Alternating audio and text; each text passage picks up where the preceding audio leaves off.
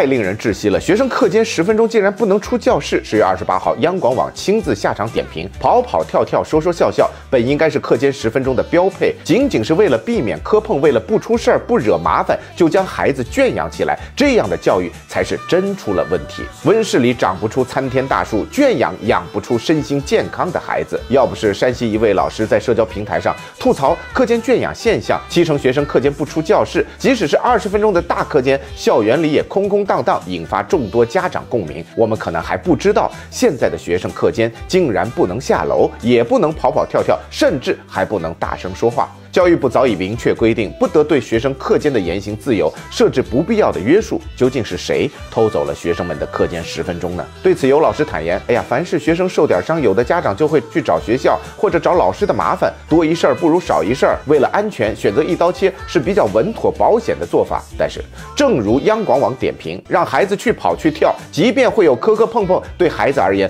都是成长中必不可少的一个经历。真正做到的一切，为了孩子，应该是。”是放开手，把课间十分钟还给学生，把课间的欢声笑语还给学生。话说，你家的孩子课间十分钟有时间玩吗？